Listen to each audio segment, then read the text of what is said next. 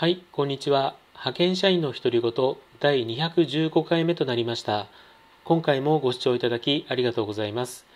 今回のテーマは仕事の割り振りについて取り上げてみたいと思います。えー私が今勤めているそのヘルプデスクの仕事なんですけれども、まあ、基本的には、まあ、以前もお話ししている通りユーザーさんからの使い方とかですね。あとは不具合の問い合わせ。これの対応がメインとなります。プラスパソコンのま準備とかですね。設定とか、まあ、故障の対応とか、まあ、そういったものについてもやらなくちゃいけないんですけれども、まあ、そういったあのいわゆるあのヘルプデスクの仕事全体としては、まあ、皆さん共通してあの同じぐらいのこう割合であの振り分けられているんですけれどもやっぱり得意不得意とかですね、まあ、この仕事だったらなんとなくこの人とかそういったものがなんとなくできてしまって、まあ、ちょっと俗人化しつつあるっていうのが現状なんですね。まあ、本来であればみんながみあのみんな同じ平等にですねどの仕事もできるようにしておかないといけないんですけれども、まあ、その辺に関してはちょっと SV がですねもうこの人だったら任せても大丈夫だからっていうような感じで、まあ、これは例えば A さんこれは B さんこれは C さんみたいな感じでなんとなくこう役割分担を作ってしまったというようなちょっと問題点があの今あります。でそんな中ですねやっぱりいつまでに何台作んなくちゃいけないというような、まあ、オーダーが入った時にですね、まあ、それを作るにあたってやっぱりその例えばパソコンだったら A さんとかでですねあのあパソコンのこの設定だったら A さんだったといった時に A さんばかりに負担がかかってしまうんですよね。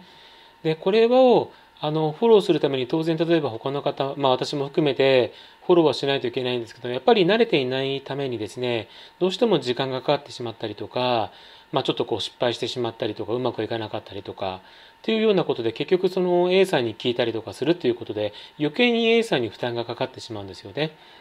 でそういったことを、まあ、防ぐためにですね、まあ、仕事のその割り振りというのを、まあ、こう俗人化せずにですね、まあ、均等に振り分けるようにということで、まあ、以前から SV の方にはお願いはしているんですけどもやっぱり日々の業務に追われてですねなかなかそこを解消していくことができないような毎日なんですね。まあ、あの派遣先の社員の方としては、まあ、期日通りその納品がされれば問題はないということなんで、まあ、そこまで私たちヘルプデスクのこのチームの、まあ、こう課題っていうんですかねそういったところまでにはあの首は突っ込んでこないんですけども、まあ、SV のところでどうやら止まってしまってるみたいでそこら辺の解決がちょっとできていない状態がずっと続いているというような感じなんです。で挙句の果てにはあの前も言った通りその残業を基本的にはするなっていう、まあ、通達っていうか暗黙の了解で残業するなっていうのが言われてるんで、まあ、時間内に収めなくてはいけないんですけれどもやっぱり、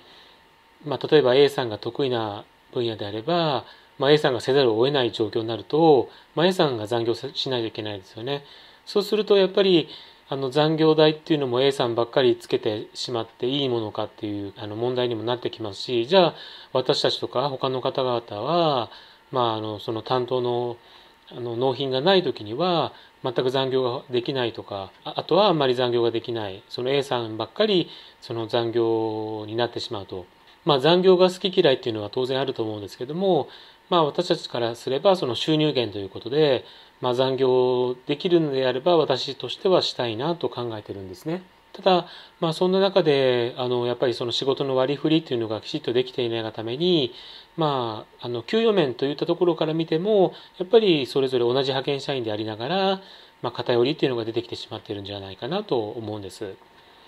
でやっぱりあのそういったところを解消するためにはさまざまな、えパソコンとかですね、まあ、例えばこう設定とかいろんな仕事に対して、まあ、手順書をしっかり作り、まあ、それを見れば誰を誰があのやってもできるようにあの整えていくっていうのがやっぱり SV の仕事なんですが、まあ、なかなかそこまで SV が手をつけないというような、まあ、ちょっと問題があるなというように私は感じております。なので、まあ、今後解決していくためには、まあ、SV が、まあ、空いてる時間、まあ、SV なんか特にあの直接問い合わせを受けるわけでもなく、まあ、そういった設定とかですねパソコンの準備を直接するわけではなくどちらかというと、まあ、指揮命令をするような感じなんであとはエスカレーションですね、まあ、比較的手が空いてることが多いと思うんですよ。なのでそういったところの時間をうまく使ってあの手順書を作って整備しそれをま派遣社員である私たちに配ってですねまあ、誰がどんな対応でもできるように、ま整えていかないといけないなというように私は考えております。まあ、どこの仕事でもそうだと思うんですけども特にこういったあの技術系では、まあ、手順書というものがやっぱりないとあるとでは全く違うと思うんですよね。でやっぱりミスの防止にもつながりますし、まあ、そういったところを整えていっていただきたいなと思いまして今回お話に挙げさせていただきました。まあ、これはどの仕事でも通用するかと思いますので、もしそういったところを、あの、あ、忘れてたなと思った方がいらっしゃれば、まあ、手順書の整備などをもう一度見直してみてはいかがでしょうか。今回は、えー、以上となります。今回もご視聴いただきありがとうございました。